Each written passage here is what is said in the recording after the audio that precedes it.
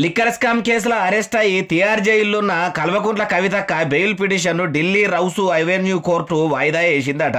అగో మొన్ననే నా కొడుకు పరీక్షలు ఉన్నాయి సారు నేను పక్కపోటి లేకుంటే మంచిగా చదవడు. మళ్ళా పరీక్ష ఫెయిల్ అవుతాడు కాబట్టి నాకు జర బెయిల్ ఇప్పియాలని ఆమె తరపు న్యాయవాదితోని బాధనంతా కోర్టు ముంగట చెప్పిస్తే ఏం ఫాయిదా లేకుండా అయ్యానా? ఈడీ ఆఫీసర్లు కవితక్కను బయటకు గిట్లా పంపితే ఆధారాలని మాయం చేస్తది. అసలు ఆమెను బయటకే తోలొద్దు. ఇన్ని దినాలు మేము చేసిన కష్టం అంతా బూడిదల పోసిన పన్నీరే అయితదని కోర్టులో పెట్టుకున్నారట ఈడీ ఆఫీసర్లు. ఇక అటు కవిత తరపు న్యాయవాది ఇటు ఈడీ ఆఫీసర్ల ఇద్దరి ముచ్చట ఇన్నాక న్యాయమూర్తి ఏప్రిల్ నాలుగు తారీఖు నాటికి తీర్పును వాయిదా చేసిండట కొడుకు కోసం అప్లై చేసుకున్న బెయిల్ కూడా రద్దయింది చూడుండ్రి. కవితక్క నిరపరాధి అని నిరూపించుకునుడు పెద్ద శమకాలమే ఉన్నది కదా అంటురు ఈ ముచ్చట తెలిసినోళ్ళు.